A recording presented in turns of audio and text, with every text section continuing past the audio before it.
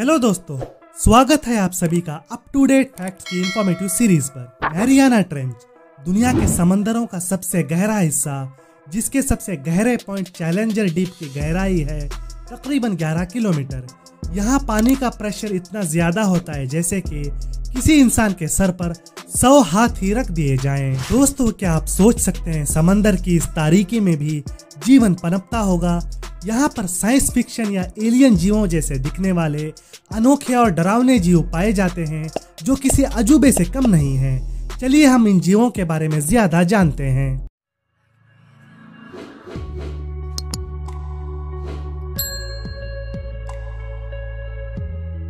Mariana trench western Pacific में स्थित है।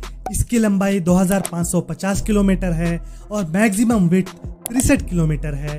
ट्रेंच के गहराई में सूरज की रोशनी नहीं पहुँचती और यहाँ पाए जाने वाले जीव या तो अंधे होते हैं या खुद अपने शरीर से लाइट एमिट करते हैं। सबसे पहला अनोखा जीव जो पानी की इस गहराई में पाया जाता है, वो है डम्बो ऑक्टोपस। इस जीव का नाम 1941 की डिज्नी मूवी डम्बो के मेन कैरेक्टर डम्बो एलिफेंट के नाम पर रखा गया है। डम्बो एलिफेंट के कान बहुत बड़े थे और वो इनकी मदद से उड़ सकता था। डम्बो ऑक्टोपस की बॉडी जेलाटिनस होती है और ये 7000 मीटर से गहरे पानी में भी ज़िंदा रह सकता है। ये अठारह में डिस्कवर किया गया था। 8 से 12 इंच का ये जीव एक शिकारी जीव है और अपने शिकार को ये एक ही बार में पूरा निगल लेता है।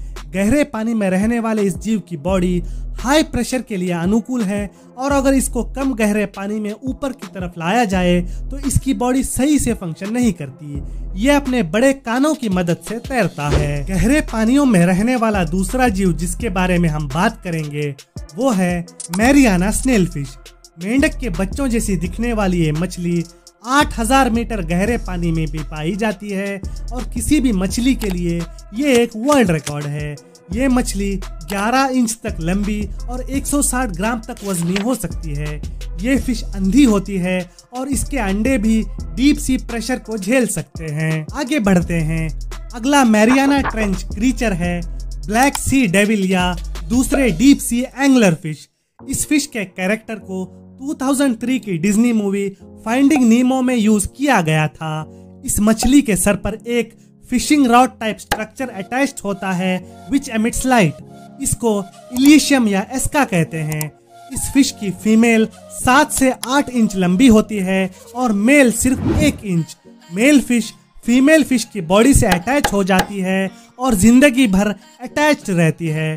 Deep sea angler fish family की एक और fish fan fin sea devil भी मैरियाना ट्रेंच में पाई जाती है। डीप सी वाटर्स में पाई जाने वाली नेक्स्ट मछली है डीप सी हैशट फ़िश ये बायोलुमिनिसेंस के ज़रिए लाइट एमिट करने वाली एक छोटी फ़िश है, जिसका साइज़ होता है दो सेंटीमीटर से बारह सेंटीमीटर इस मछली ने खुद को ऐसे एडजस्ट कर लिया है कि जो भी लिमिटेड लाइट अवेलेबल हो उसके अनुकूल ये अपने बॉडी की लाइट एडजस्ट कर ले और बड़े शिकारी मछलियों को दिखाई न दे। ये मछली 2000 मीटर गहरे पानी तक पाई जाती है। Next fish in the list is deep sea dragon fish ये एक छह इंच की शिकारी मछली है, जो 6000 फीट गहरे पानी में पाई जाती है। ये मछली बायोलुमिनिसेंस के ज़रिए अपनी बॉडी से लाइट एमिट करती है। क्योंकि ये फ़िश छोटी होती है, इसलिए इसे दूसरे प्रेडेटर से खतरा होता है। ये फ़िश अपने खाने के बाद अपनी बॉडी से निकल रही लाइट को छिपा लेती है। इस काम के लिए इस फ़िश का पेट ब्लैक कलर का होता है। दोस्तों मैरियाना ट्रेंच में एक ऐसी जेलीफिश भी मिलती है, जो ओपेक होती है। वो है बेंथोकोडोन जेलीफिश ये जेलीफिश भी बायोलुमिनिसेंस एग्जिबिट करती है और इसका कलर होता है रेड ये जेलीफिश सी फ्लोर के करीब रहना पसंद करती है और इसके डेढ़ हज़ार टेंटिकल्स होते हैं, जो इसे पानी में मूवमेंट में मदद करते हैं. इसी टाइप का और एक क्रीचर भी मैरियाना ट्रेंच में देखने को मिलता है और वो है टेनोफोरा इन क्रीचर्स को कूम जेलीस भी कहते हैं. इसका साइज़ कुछ मिलीमीटर से लेकर डेढ़ मीटर तक हो सकता है। ये क्रीचर्स भी बायोलुमिनिसेंस एग्जिबिट करते हैं। इनकी बॉडी जेलेटिनस है और इसकी बॉडी पर पड़ने वाली लाइट स्कैटर होती है, जिससे रेनबो इफ़ेक्ट देखने को मिलता है। कूम जली प्रेडेटर्स हैं और ये प्लैंकटन्स क्रिल एम्फीपॉड्स और जेलीफिश वगैरह को खाते हैं।